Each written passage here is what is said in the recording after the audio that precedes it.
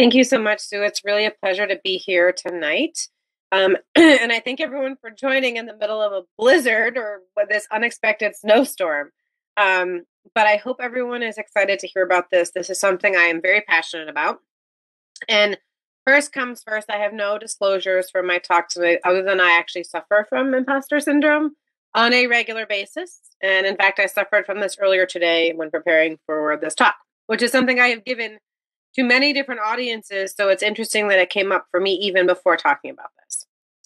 So, my objectives for this evening's session is to define what imposter syndrome or phenomenon is and how it presents in ourselves and in others, how we can recognize and reflect on times when you've experienced imposter syndrome, and design and formulate a plan for coaching yourself or a colleague when you next experience this or when you see it in others.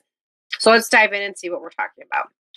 So, by definition, an imposter is a person who pretends to be someone else in order to deceive others, especially in a fraudulent game. Now, when you think about this and this concept, when people act or feel as if they're an imposter, it's not meant to be hurtful. But and you're really not having this alter ulterior motive to deceive someone else either. Oftentimes, it's something completely different.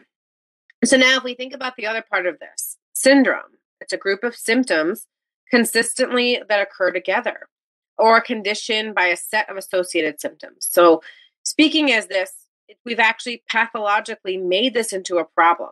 So, we actually have now something that we can label and see and recognize as an actual pathological problem.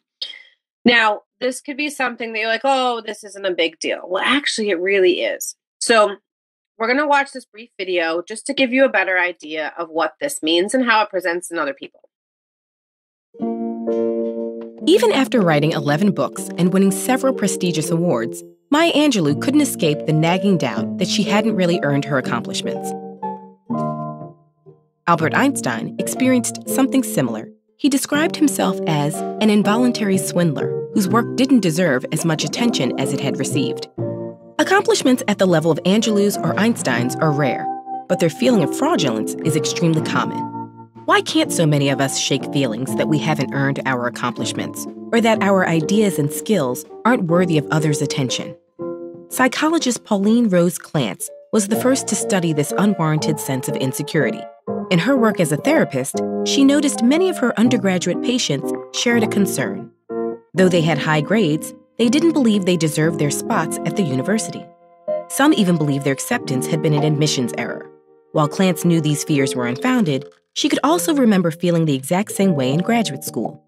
She and her patients experienced something that goes by a number of names imposter phenomenon, imposter experience, and imposter syndrome. Together with colleague Suzanne Imes, Clance first studied imposterism in female college students and faculty. Their work established pervasive feelings of fraudulence in this group. Since that first study, the same thing has been established across gender, race, age, and a huge range of occupations, though it may be more prevalent and disproportionately affect the experiences of underrepresented or disadvantaged groups. To call it a syndrome is to downplay how universal it is. It's not a disease or an abnormality, and it isn't necessarily tied to depression, anxiety, or self esteem. Where do these feelings of fraudulence come from? People who are highly skilled or accomplished tend to think others are just as skilled. This can spiral into feelings that they don't deserve accolades and opportunities over other people. And as Angelou and Einstein experienced, there's often no threshold of accomplishment that puts these feelings to rest. Feelings of imposterism aren't restricted to highly skilled individuals either. Everyone is susceptible to a phenomenon known as pluralistic ignorance, where we each doubt ourselves privately, but believe we're alone in thinking that way because no one else voices their doubts.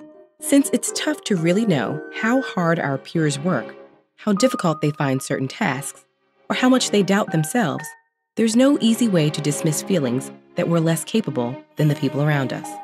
Intense feelings of imposterism can prevent people from sharing their great ideas or applying for jobs and programs where they'd excel. At least so far, the most surefire way to combat imposter syndrome is to talk about it. Many people suffering from imposter syndrome are afraid that if they ask about their performance, their fears will be confirmed. And even when they receive positive feedback, it often fails to ease feelings of fraudulence. But on the other hand, Hearing that an advisor or mentor has experienced feelings of imposterism can help relieve those feelings. The same goes for peers. Even simply finding out there's a term for these feelings can be an incredible relief.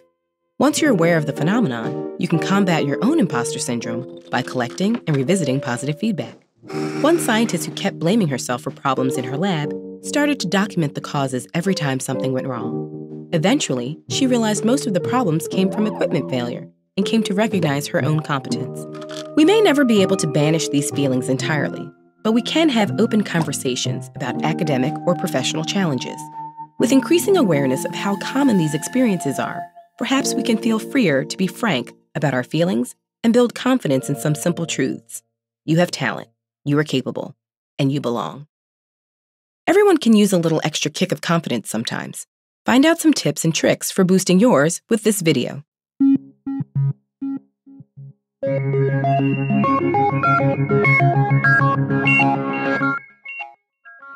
right. So I thought this was a really good summary and recognizing that this is something that is pervasive pretty much in every sector. So, regardless of what you do or where you live or where your training has brought you, this is something you probably have seen or experienced yourself.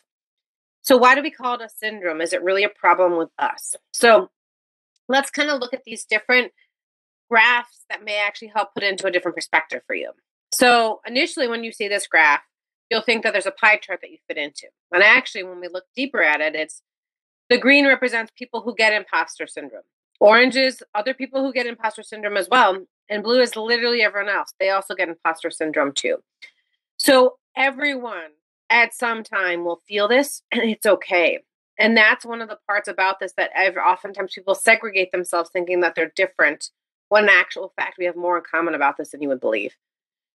Another way to think about this is who you think you are and then who others think you are. And it's a very different view and lens when we often view this.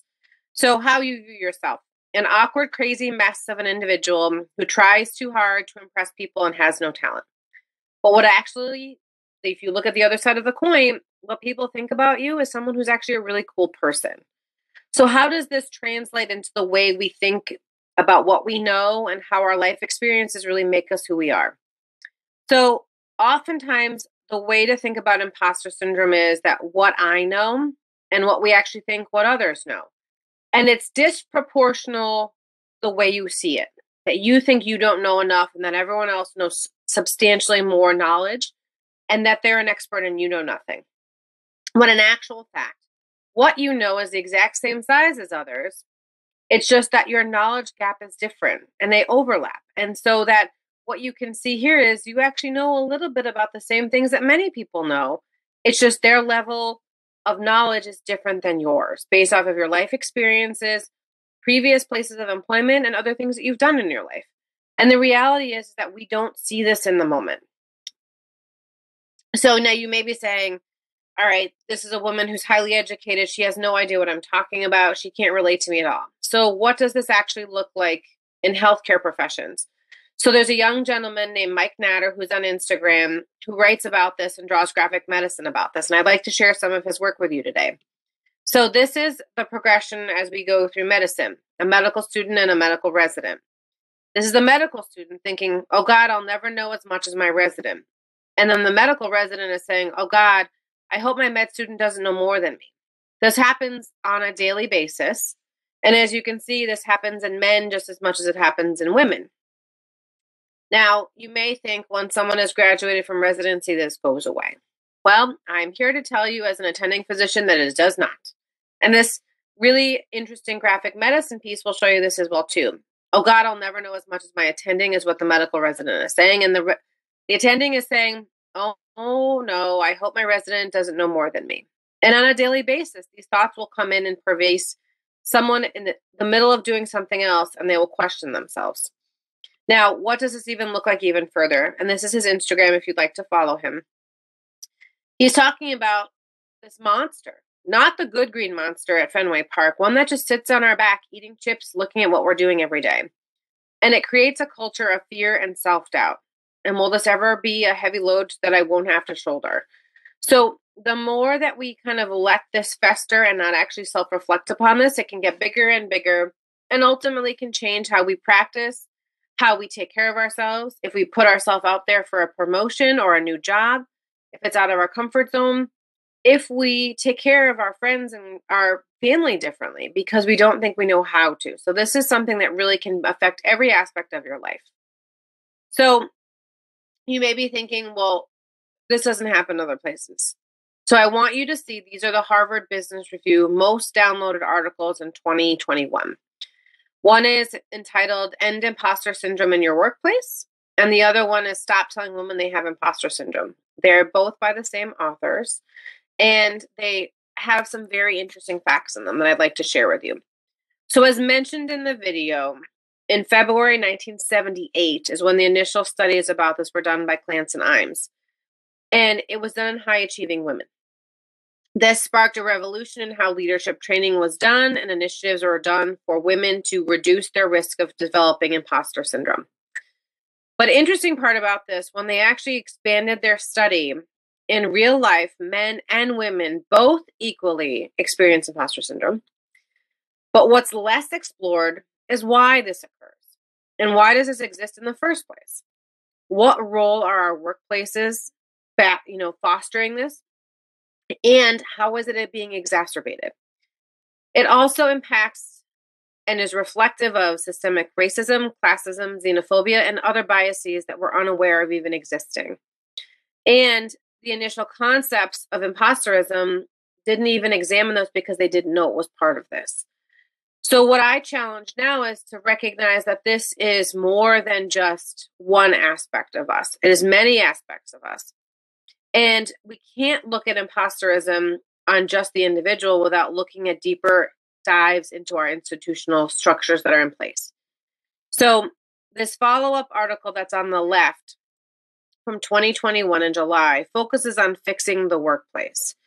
And I would challenge you all, if you don't take anything else other than this, is to go back and look at your place of work. Think about how we can work and push towards a more sustainable system create solutions to ensure our workplace is where our most underrepresented employees can actually belong and thrive, and recognize from this how we can start to look for and see when we see it in our colleagues and how we can break these systems and rebuild them so that imposterism isn't part of this as well. So, thinking about that, I want to take a moment for you to consider a time when you felt like an imposter and in the question and answer, please write any questions you have about those examples. I'm going to leave this up for a minute and then I'll stop sharing just so you can all, um, we can pull up the question and answer. We can go through them for a moment. So think about, take a moment to consider a time when you felt like an imposter. And what specific questions do you have thinking about that? All right. How do you acknowledge and frame your ignorance with others or without risking reputation and credibility? That's a really great question. So, I would like to reframe this to thinking about acknowledging your own biases and reframing your own, like you said, your ignorance. So, one of the first steps is to just acknowledge that you don't, oh, you know, don't know everything and recognizing that how we can start to consider our own imposterism and how this affects others is just talking about it, just like that video mentioned as well. So, how can we do that?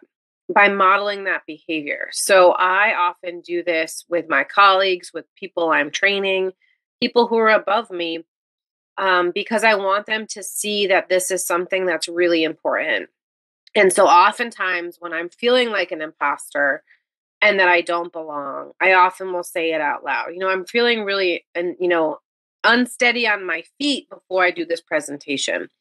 Or I will say, Has anyone else ever felt like this before? And you would be amazed how many people will do this. And what I found, instead of actually risking my reputation or my credibility, it's actually amplified this. And I will then see this in someone else and bring it to their attention. And they're like, well, what do I do now? And it's actually, we're going to go through some tangible steps later on this presentation to go through this. But most oftentimes, when you acknowledge this and own this, it actually will increase your credibility because you're showing not that you're completely vulnerable and that you don't know what the heck you're doing, but that you're actually saying that I know a lot of things, but I'm acknowledging the fact that I'm still learning. What are the signs and symptoms that you can see in your colleagues, in yourself to kind of say, oh, I need to maybe take a step back and see what's going on? So when we think about this, this is the employee of the month. You can see they're sweating, they're red, they're very uncomfortable, their shoulders are shrugged. So looking for body language is a first sign. Also, the sensation of afraid of being outed as a fraud. When I started my job now almost four years ago, every day I would come home and say to my family, I'm pretty sure I'm going to get fired tomorrow. They're going to realize I'm a fraud and I have no idea what I'm doing. And I would say it that fast and I would just blurt it out. I would be on a committee for uh, an organization and I would say the same thing. They have no idea. I have no idea why they've picked me. I'm not even supposed to be here. And so, this idea that oftentimes people will say that they have been lucky to get everything, that they are someone who just happened to be the right place at the right time, and that someone's going to figure out that they don't know what they're doing. Also, when people do get awards, like this person in the graphic is getting, they feel unworthy of success. I don't deserve this. No one else applied who was better than me. I just happen to be the only candidate they would consider giving this to. They downplay their success and they often view it as that it's not something to be proud of and that it's something that actually just happened to be a thing that happened. That they're unworthy of acceptance of praise or accolades and that they feel very, very uncomfortable. Dismissive of positive feedback. So, has anyone ever been given a really great compliment or feedback from a colleague who we work with, or a friend or a family, and they're like, oh, no, no, you're being too nice? And it's really one of the first things that I watch for when someone says that to me. Because then, as soon as I've heard them say that once, I then watch for additional signs and symptoms of imposterism. Oftentimes, people don't trust others because of the same fact. If you tie these together, oh, I don't believe you. You're just you're saying that to be nice. And then the other part of it is over preparing. So I have given this talk many times to a variety of different people. And every time, right before I give this presentation, I review, review, re-review it like for half an hour before I'm going to give the talk. I, whenever I give a presentation, I oftentimes will, or even when I'm just writing something up or doing something, I will spend hours and hours and hours over preparing when I've already know all the stuff that I'm supposed to talk about or the things that I'm supposed to do. It is one of the things that can actually lead people to really feel like they are in the cog of the wheel because they are so much that little hamster spinning on that wheel. And it's ultimately one of the things that you can do if you see your colleague doing this and say, you know, you got this. We're going to be there together to support you and have their back as much as they need it. So now thinking about this, um, we're going to actually go into this deeper dive now. And we're going to take the next 20 minutes or so to go through these steps. And so, the first thing I want you to think about when I read this off to you is how do you talk to yourself? There is so much negative self talk out there in the world, and much of it is actually ourselves in our own head. And so, think about this and reframe how you talk to yourself. I want you to talk to yourself like you would talk to a child. It's okay to be sad. I'm here for you. I won't leave you alone. Your best friend. You rock. I am so proud of you. You deserve the best. You're worth every single dollar I invest in you. Your favorite treat that you may be eating right now. The sun. You light up my day and you warm my soul. Your favorite pet. You are the cutest thing I've ever seen, or a stranger. Would you like me to help you with that? How often have you spoke to yourself like that? Probably not that often, right? Whereas if it's your same, if it's your best friend going through the same situation, you would speak to them in a much kinder way. If we aren't kind to ourselves, we can't be kind to others. And in the world that we live in now, kindness is the most important thing for ourselves, especially. So, what I'd like for you all to do is grab a piece of paper and write out a self reflection on each of these. So we have 20 minutes now to do that. Um, and so what we'll do is I'll read these out. I'm going to leave the screen up and I want you to take the time to really do this and give yourself the ability to think. So the first one is to think about a time when you felt like an imposter in the past and how you dealt with it. Think about the way you talk to yourself and what worked well, what didn't work well. And so the second part for each question is how did you break the cycle and what tools did you find successful? Now, for question two, is there a current or present imposter syndrome event you are struggling with? What's actually happening? View this in a non judgmental way and give yourself grace. Do not beat yourself up. Do not be your own worst enemy. Think about those acts of being kind.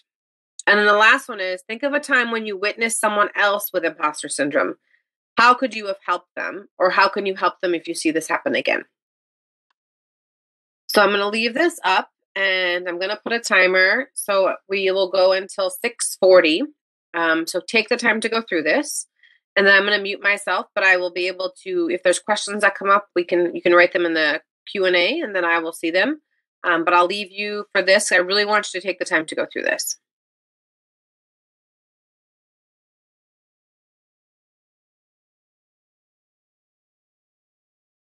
All right. I think we're going to end a little early just because I realize we have probably, you've probably gone through all of these. So I'm going to stop sharing my screen again.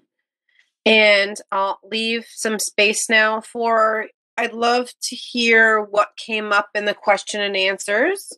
Um, what are some things you're working through? And what are some things that you want help with navigating that came up when you reflected upon these areas?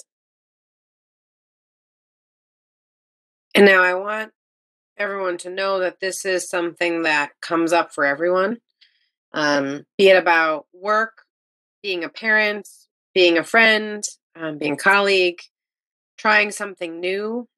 And it can come up in any aspect of your life. So please don't hesitate to ask the questions you have. I want to be able to help you navigate these. When in a higher level position, it feels as though there is no choice but to fake it and hope your feelings diminish over time. Yes, so there is a phrase, the fake it till you make it. Um, but I like to change it till you fake it till you are it. So oftentimes you can then model the behavior of, I really don't know what I'm doing and have no shame with that. So, um, being in a higher level of position, especially as a woman, it makes it much more difficult to feel like you're not under the microscope being scrutinized, you know, having lots of scrutiny about everything that you do.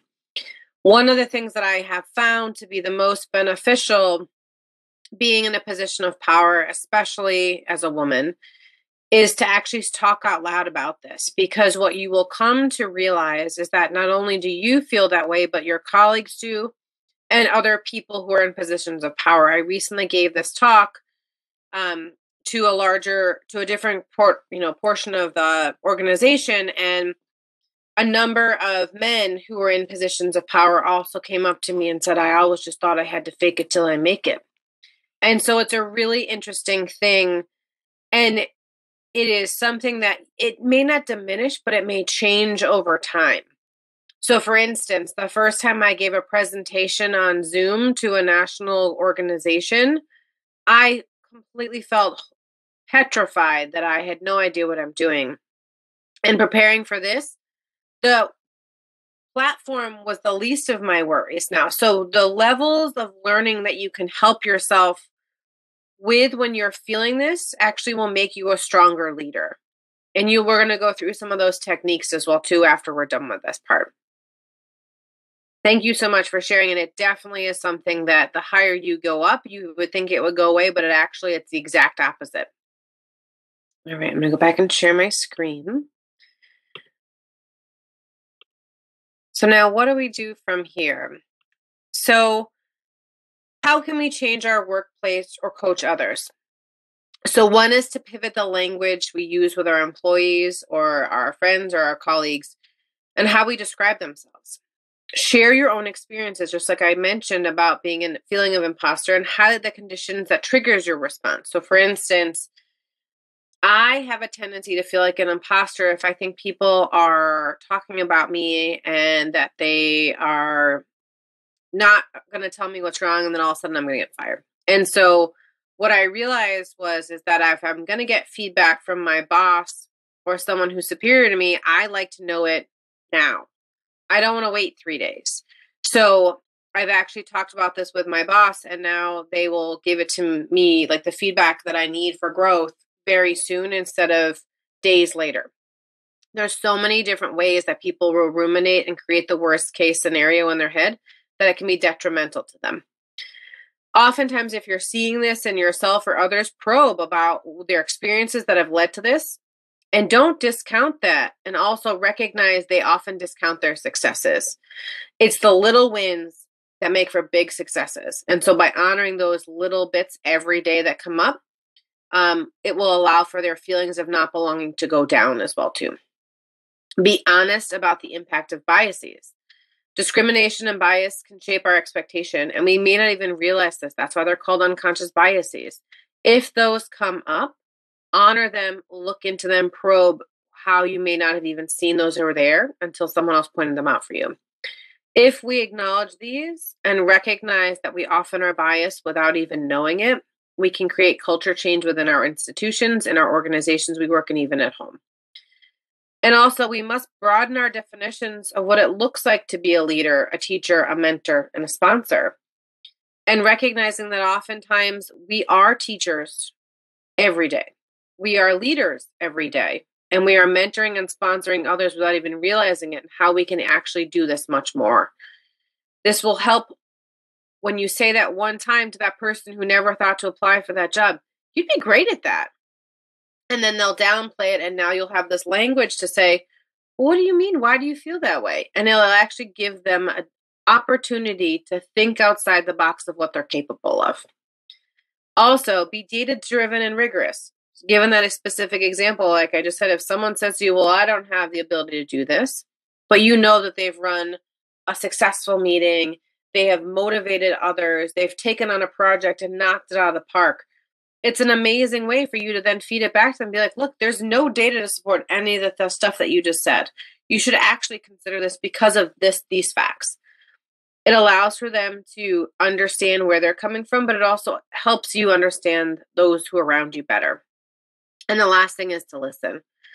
Listening to people makes such a difference, especially now. You know, put your phone away, put all the other technology away, and just listen to what people are saying. They'll say what they need, and it'll make it a better place for you to be. So, the last thing we're going to do is something called the recipe for success. Um, what I want you to do is take a moment now to review the positive things that helped you break the cycle of your imposterism. Think about what your personal mantra will be what resonates with you. So, for instance, mine is do not let other people dull your sparkle and shine. Instead, hand them a pair of sunglasses.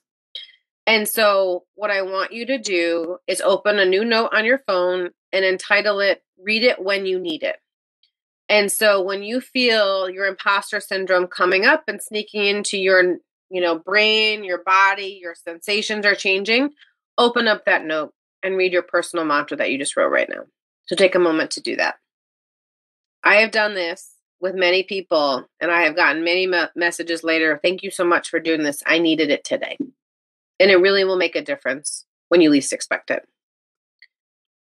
So, if you want to learn more about imposter phenomenon, there's some really great resources out there. The two articles that I mentioned are down here from Harvard Business Review. And there's a great podcast on Dare to Lead with Brene Brown, which has Jodie-Ann Burey and Ruchika uh, Tulshyan, um, who are the authors of those articles on the podcast. It's wonderful. I highly recommend all three of these if you have the time and the opportunity to explore more about this. And lastly, I just want to say in closing don't forget you have talent, you are capable, and you belong. And thank you for joining. So now I can take some additional questions. I'll stop sharing as well, too. Um, all right. Recently, I uh, recently I learned not to go uh, to MSU.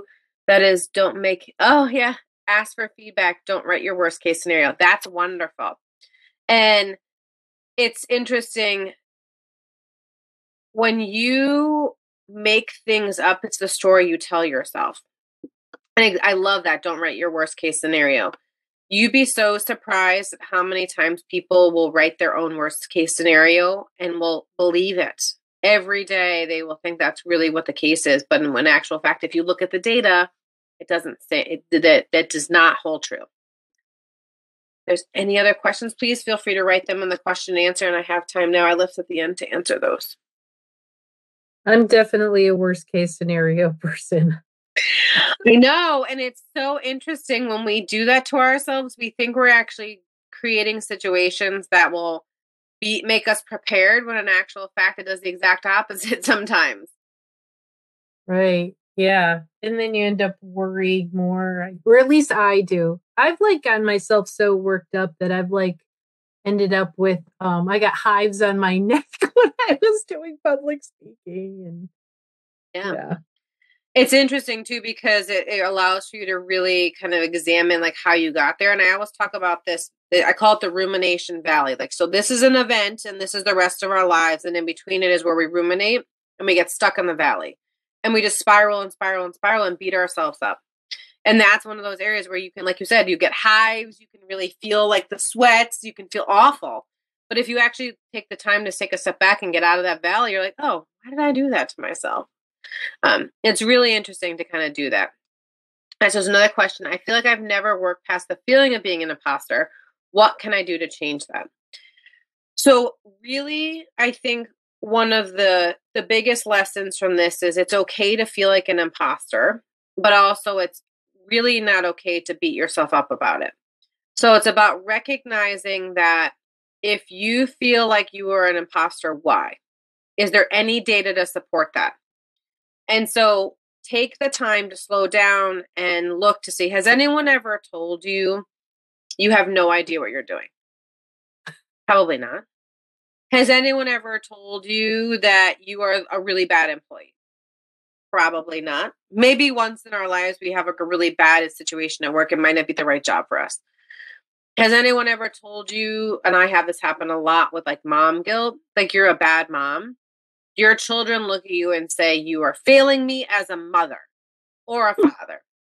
No, our children remember all the good stuff. They don't remember when we screw up. And I mean, we're going to screw up. Like that's the whole purpose of being alive is if we don't make mistakes and learn from them, we can never value truly when we have succeeded. And so I think one of the really important things to work through if you feel like you're stuck feeling like an imposter, why are you letting yourself feel that way? And how can you really break that cycle? So for me, it's, you know, if I have an event where I'm really feeling it and I can't let go of it, that's when I reach out to a friend of mine or a colleague and say, Hey, I'm suffering from this right now. Can you help me work through this? And because I've done this to other people, they now reach out to me with the same issues when they come up. So, for instance, a colleague of mine was going to speak at an institution she'd never spoken at before, give a presentation on what she's an expert in but she's never really published anything in it. She has nothing to like show her name, like this big name thing. And she was like, I can't do this. I'm like, yes, you can. I'm like, what are you talking about? But it's also about recognizing that we need help sometime to break that cycle. You can't do it alone. I think that's great advice. Like, if you can actually say out loud what your fear is to somebody that you respect and they go wait a minute. This is right. Yeah. No i so think that's really right yeah. Right that's really powerful.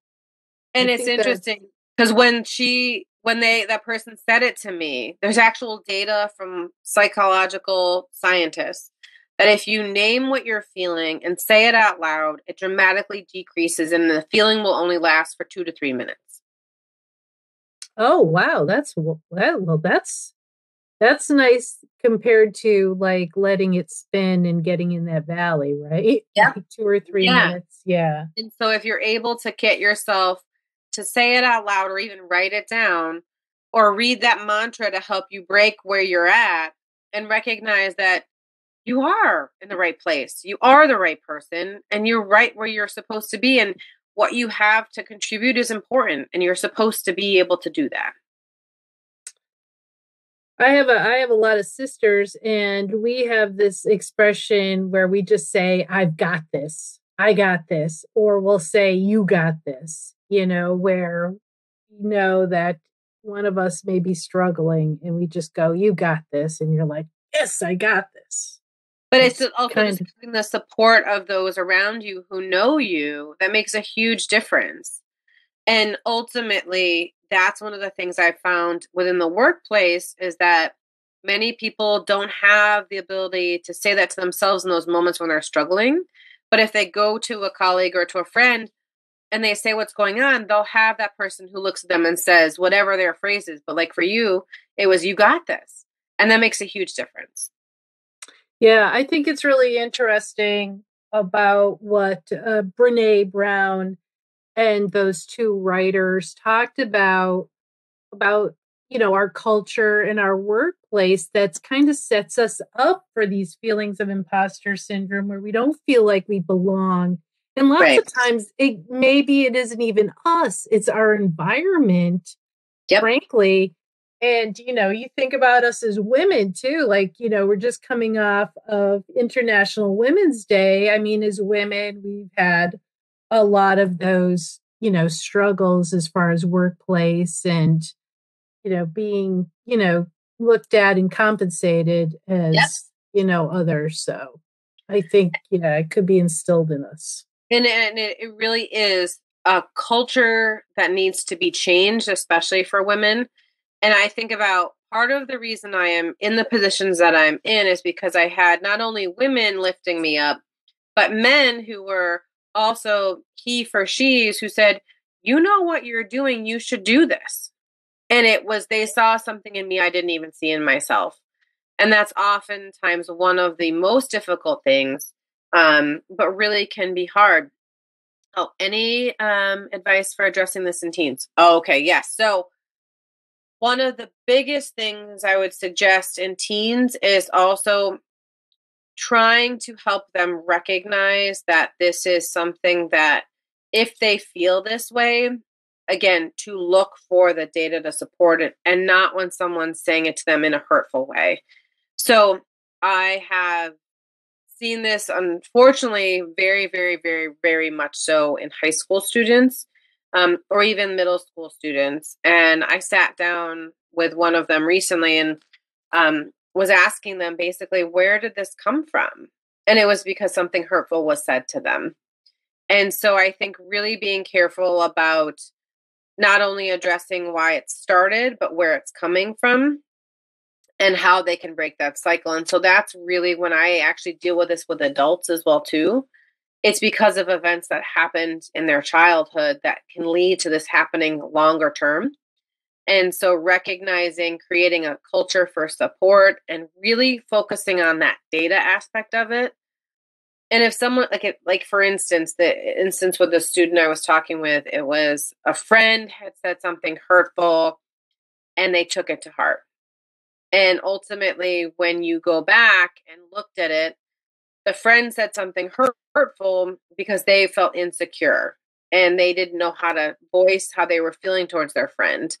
And so I ended up having the students talk to each other and realize that they both were hurting each other without even realizing it and then this created this feeling of like inadequacy fraudulence that they couldn't do anything else. And so it's one of those moments where communication is really really important to break that down as well too excellent yes and it's they are a hundred percent building each other up and tearing each other down that is very, very true. And honestly, I'm not going to lie, there is a lot of women hating as an adult. Like, I say this to a bunch of people I know. Like, sometimes you would think that women would be their own best friends to help them succeed and be successful. And it's the exact opposite. Like, women will tear each other down and be catty, like that Mean Girls from the movie. Um, it really can be very, very trying. And so, trying to create that this is the norm where we help each other and talk through our difficulties instead of the exact opposite of that can make a huge difference um, and that's my hope as as we come out of the other side of the pandemic into a new and different world that we like i said bringing in that aspect of kindness to ourselves so we can be kind to others. That is that is a great um great ending, I really feel like, to this event is to talk about kindness and lifting each other up and listening and, yeah, building each other and knowing that we are enough. Yeah. And you uh, are amazing. And I appreciate you bringing this topic and your work forward about it. And I hope everybody that attended today and in the future, when they see this recording, that they remember that they're wonderful. And so are you. Thank you so much, Sue. No, I completely agree with that sentiment. It's so important. Thanks again. Have a great night. Thank you, everyone. Take care. Be safe.